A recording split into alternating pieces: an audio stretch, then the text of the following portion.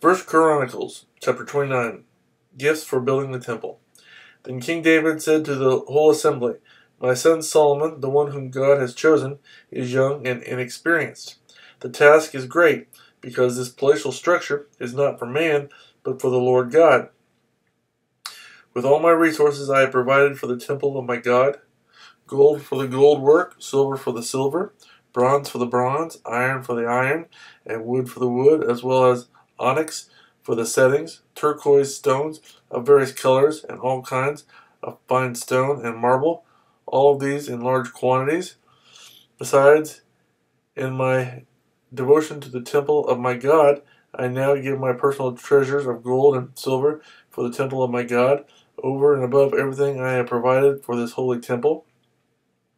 3,000 talents of gold, gold of Ophir, and 7,000 talents of refined silver for the overlaying of the walls of the buildings, for the gold work and the silver work, and for all the work to be done by the craftsmen. Now, who is willing to consecrate himself today to the Lord?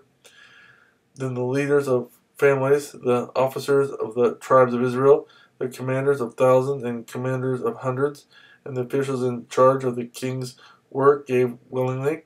They gave toward the work on the temple of God five thousand talents and ten thousand darics of gold, ten thousand talents of silver, eighteen thousand talents of bronze, and a hundred thousand talents of iron.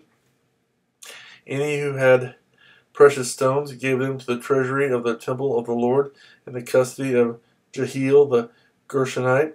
The people rejoiced at the willing response of their leaders, for they had given freely and wholeheartedly to the Lord. David the king also rejoiced greatly. David's prayer. David praised the Lord in the presence of the whole assembly, saying, Praise be to you, O Lord, God of our father Israel, from everlasting to everlasting. Yours, O Lord, is the greatness and the power, and the glory, and the majesty, and the splendor. For everything in heaven and earth is yours. Yours, O Lord, is the kingdom. You are exalted as head over all. Wealth and honor come from you.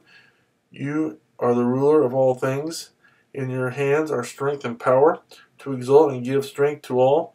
Now, our God, we give you thanks and praise your glorious name.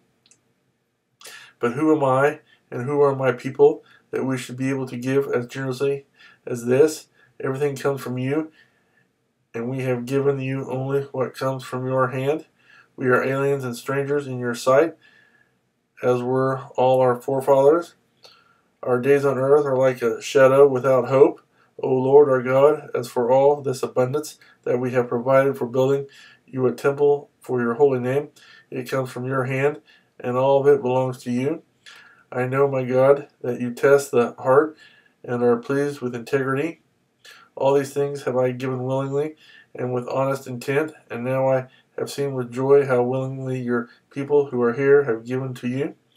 O Lord, God of our fathers, Abraham, Isaac, and Israel, Keep this desire in the hearts of your people forever, and keep their hearts loyal to you. And give my son Solomon the wholehearted devotion to keep your commands, requirements, and decrees, and to do everything to build the palatial structure for which I have provided. And David said to the whole assembly, Praise the Lord your God. So they all praised the Lord, the God of their fathers. They bowed low and fell prostrate before the Lord and the king. Solomon acknowledged as king. The next day they made sacrifices to the Lord and presented burnt offerings to him a thousand bulls, a thousand rams, and a thousand male lambs, together with their drink offerings and other sacrifices in abundance for all Israel. They ate and drank with great joy in the presence of the Lord that day. Then they acknowledged Solomon, son of David, as king a second time, anointing him before the Lord to be ruler and Zadok to be priest. So Solomon sat on the throne of the Lord as king in place of his father David. He prospered, and all Israel obeyed him. All the officers and mighty men, as well as all of King David's sons, pledged their submission to King Solomon. The Lord highly exalted Solomon in the sight of all Israel and bestowed on him royal splendor such as no king over Israel ever had before. The death of David. David, son of Jesse, was king over all Israel. He ruled over Israel forty years, seven in Hebron and thirty three in Jerusalem. He died at a good old age, having enjoyed long life, wealth, and honor. His son Solomon succeeded him as king. As for the events of King David's reign, from beginning to end, they are written in the records of Samuel the seer, the records of Nathan the prophet, and the records of Gad the seer, together with the details of his reign and power and the circumstances that surrounded him and Israel and the kingdoms of all the other lands.